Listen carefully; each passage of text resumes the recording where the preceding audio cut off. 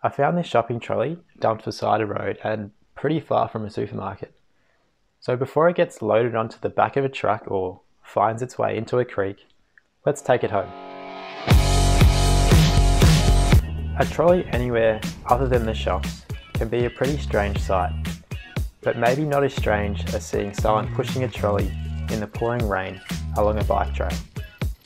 This is because supermarket trolleys tend to live quite uneventful lives. They travel up and down the same aisles, rarely leave the four walls of the supermarket, are often underappreciated, and rarely get attention, unless they have a dodgy wheel. But today, for this trolley, it's different. Today it'll go places no trolley has before. We expect trolleys to do their job, that is, to carry our groceries, and not much else really and we expect that the bumpy and wet trails alongside the creek or the paths beside busy roads are no place for a shopping trolley. But I learned they held up surprisingly well, as if they were made for more than just the supermarket. The longer we journeyed, the closer we got to the trolley's home.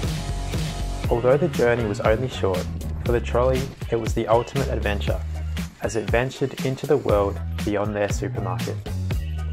It was eventually time to return the trolley back to where it knows best, doing what it was made for. Back in its usual habitat, but now with the experience of seeing more of the world than just the average trolley. Thanks for the adventure. And the Skittles.